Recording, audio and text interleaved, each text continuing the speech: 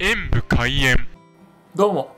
突然ですが皆さんはアサヒ飲料と聞くとどの飲み物を一番先に浮かべますか？自分は。カルピスです。そして本日そんなカルピスから新商品が出てきました。それがこちら。乳酸菌で体脂肪を減らす体カルピスです。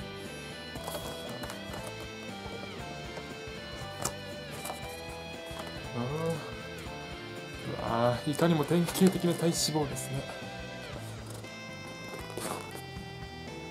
それをこのカルピスはとあそんな体脂肪を減らす乳酸菌を含んでいるとのことです。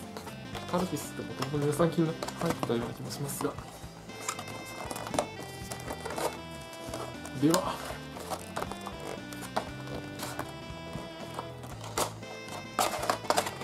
開けてみましょう。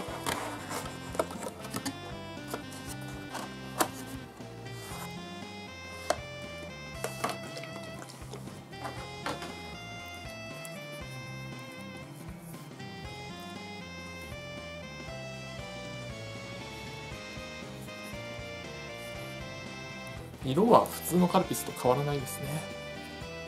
では飲んでみます。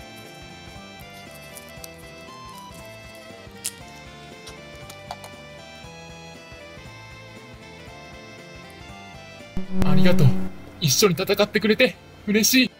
普通のカルピスとそこまで変わることはなくすっきりした。中にもちょっとまだまろやかな濃厚さがありました。こういう体脂肪が減らせるのはとっても嬉しいです。